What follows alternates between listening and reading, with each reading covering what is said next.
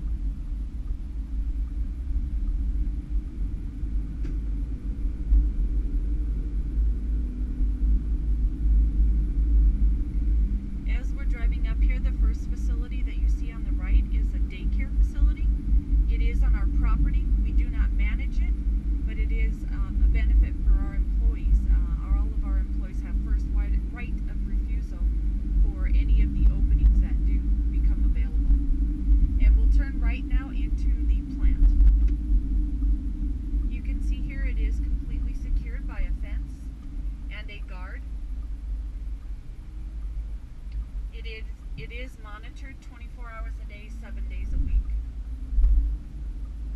And we have arrived at the Epic Technologies facility in Juarez, Mexico. Welcome to our plant.